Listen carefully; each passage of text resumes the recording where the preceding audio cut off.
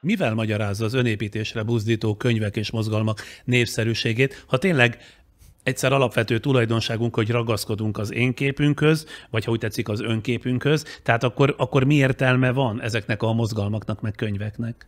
Hát ennek nagyon sok értelme, mert az emberek általában nem nagyon uh, boldogok azzal, mint ami, ahogy, ahogy élik az életüket, és azért elég jól el lehet adni az önkönyveket, hogy hát nem, nem vagy elég sikeres, akkor csináld ezt, és akkor majd sikeresebb leszel, vagy nem vagy elég kreatív, akkor csináld ezt, és akkor sikeresebb leszel, vagy nem vagy elég boldog, adok neked egy tanácsot, és akkor attól sikeresebb, ez nagy gyönyörűen el lehet adni az ilyen könyveket. Csak az a baj, hogy ezek a, ezek a könyvek, ezek, amit, ezek mind azt mondják, hogy változtass meg az önképedet. Legyen egy pozitívabb önképed, vagy egy negatívabb önképed, vagy egy emocionális, vagy racionálisabb önképed, vagy egy kevésbé racionálisabb önképed.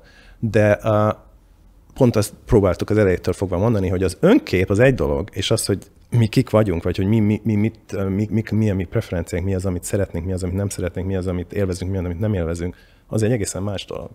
És ezért, hogy ezért um, hiába változtatod meg az önképedet, az, hogy a, te mit szeretsz, mit nem szeretsz, az attól még megint csak el fog csúszni tőle. Na most, ha az önképünk mindig vagy gyakran hamis, meg lehet-e uh-huh. például azt mondani, hogy kik vagyunk? Egyáltalán ki mondhatja ezt meg az embernek?